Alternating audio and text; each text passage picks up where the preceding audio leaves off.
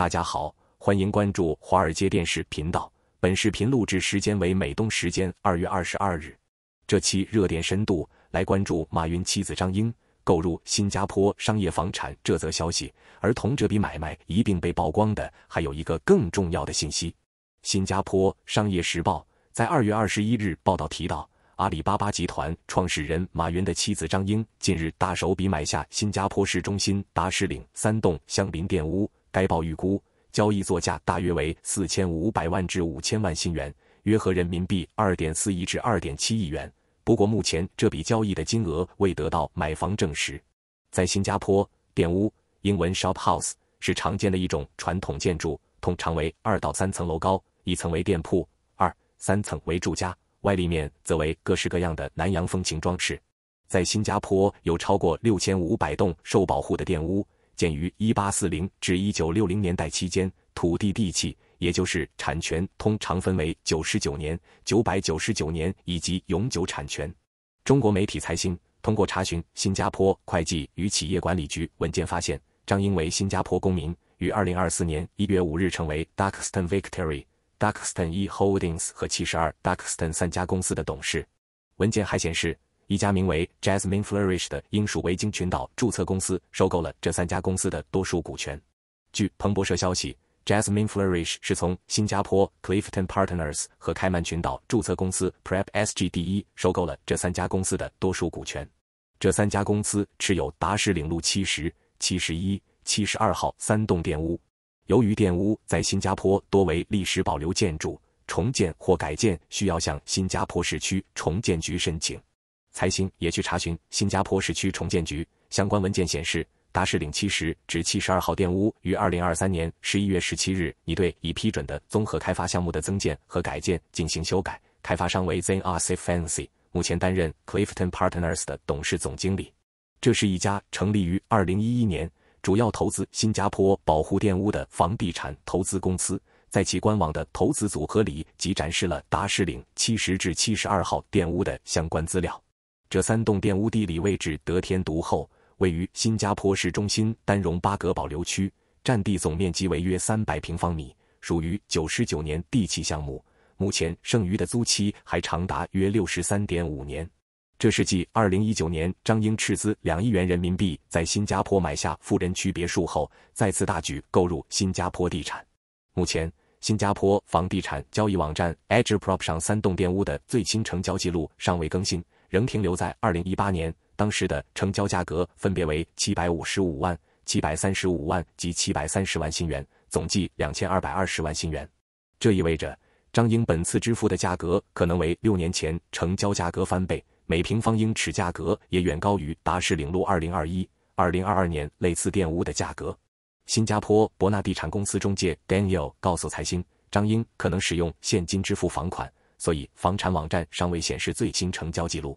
面对如此高的估计成交价，有房地产中介分析认为，可能是因为近期重建及改建导致六年时间价格翻倍，有些令人不可思议。店屋在新加坡多为历史保留建筑，重建或改建需要向新加坡市区重建局申请。财新查询新加坡市区重建局文件显示。达士岭七十至七十二号店屋于二零二三年十一月十七日拟对已批准的综合开发项目的增建和改建修改。该开发项目包括三个单元的三层店屋，带有屋顶夹层，其中一层单元将从咖啡甜品店改为餐厅。文件还显示，开发商为 ZNRC Fancy。ZNRC Fancy 的个人领英称其拥有超过二十年的房产投资经验，目前担任 Clifton Partners 的董事总经理。这是一家成立于二零一一年，主要投资新加坡保护电屋的房地产投资公司，在其官网的投资组合里，即展示了达士岭七十至七十二号电屋的地理优势及历史渊源等。视频前面也提到，这并非张英首次买入新加坡房产。二零一九年，张英被报道斥资四千万新元买入位于新加坡富人区五级之马维多利亚公园一栋面积近三万平方英尺的双层别墅，该别墅目前正在改建中。由于新加坡限制外国人购买带土地产权的别墅，因此当时外界推测张英已更换为新加坡国籍。当时，新加坡商业时报也报道了这则消息，并提到购买该房产不需要当局的批准。据可查询信息，购买别墅的使用的是 UBS 瑞士银行信托，因为是有地住宅，信托的受益人应该是新加坡人。关于马云移居新加坡的消息，过去十多年时不时就会传出一条，最近一次是二零二三年年初，二零二三年一月二十七日。有记者就此前在新加坡筹建全球总部的传闻向相关负责人求证，被明确告知不实，系误读。阿里巴巴相关负责人表示，阿里巴巴出生在杭州，生长在杭州，发展在杭州，阿里全球总部始终在杭州，是自然也是必然。不过多年来，阿里巴巴许多早期联合创始人，比如彭磊、盛一飞等等，如今都已经定居在新加坡。阿里巴巴联合创始人之一的盛一飞，在二零一五年同样在这个五级之马维多利亚公园买了一套优质洋房。盛一飞据信也已经加入新加坡国籍。同样是在二零一五年，阿里巴巴创始人之一的孙彤宇挥金五千一百万新币购买嘉丰豪庭第三十二层和三十三层的顶层单位，是整个公寓里最贵的一套顶层复式大宅，拥有空中花园、专用电梯和泳池。这笔交易额相信已刷新在新加坡最贵公寓单位的记录。二零二二年，据新浪及网易新闻消息称，阿里创始人之一、曾任蚂蚁金服 CEO 的彭磊在近日已经移民新加坡。二零二一年，彭磊以二十九亿美元的身价位列二零二一福布斯全球财富榜第一千零六十四名。彭磊带着巨额财产加入新加坡，被当地媒体报道称将冲击新加坡首富的地位。再回过头来说。此次被曝光的马云妻子张英大手笔购入新加坡商业房产，比起地理位置得天独厚的三栋电屋，一并被确认的张英持新加坡公民身份，更是关键的信息点。马云最近传出消息是在大年初五，在社交媒体上有网友爆出马云携带一家子在新西兰过年，还称人挺和善的，本人看着很年轻，比电视上帅。据悉。张英在阿里巴巴发展早期曾发挥了关键作用，也是阿里的第一批员工之一。据说张英的阿里巴巴员工号是二号，只在马云之后。关于马云的国籍，过去也有很多说法。二零一四年前后，有媒体报道称，马云已通过投资移民落户香港，已正式成为香港永久居民。报道称，马云自己曾透露已在港置业，希望晚年在香港度过。对此，阿里巴巴通过微博否认称，马云户口在杭州，移民香港消息不实。马云本人以后也将不会移民别处。随后，马云本人也发布声明称自己没有移民打算，做杭州老挺好，没有任何改变现状的计划。在二零二零年八月，蚂蚁集团向上交所科创板递交上市招股说明书，并同步向香港联交所递交 A 一招股申请文件。招股文件称。马云为蚂蚁集团实际控制人。此次招股书显示，马云国籍为中国，且不拥有永久境外居留权。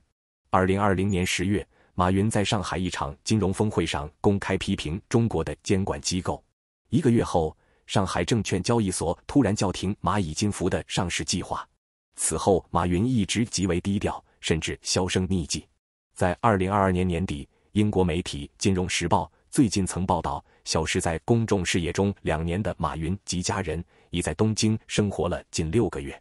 期间，曾在东京郊外的乡村温泉和滑雪胜地逗留，并定期前往美国和以色列。马云在东京逗留期间一直保持低调，并将公开活动降至最低。马云住在日本东京银座这件事，在媒体报道下成为众人皆知的事。很多的报道文章多以“马云定居日本”为标题。于是有人提出疑问：马云不过在日本居住了半年而已，这算定居吗？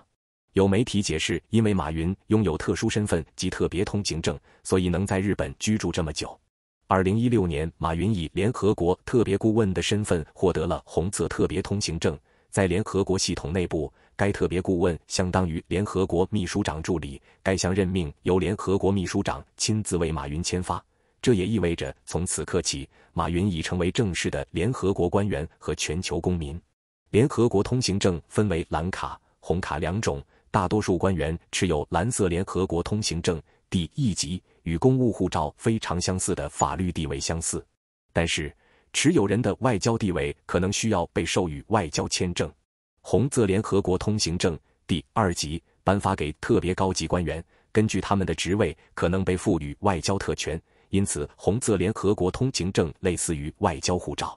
有一部分人便把马云能长期停留日本与这个红色联合国通行证给联系了起来。但需要说明的是，并没有任何报道证实这一点。好了，以上就是今天热点深度所有内容。更多资讯可以关注六度简报网站，网址是六都 brief 点 com，在上面各位可以订阅各类符合您喜好的简报新闻，有免费套餐，也有更加专业的付费套餐供大家选择。今天的视频就到这里，我们下个视频再见。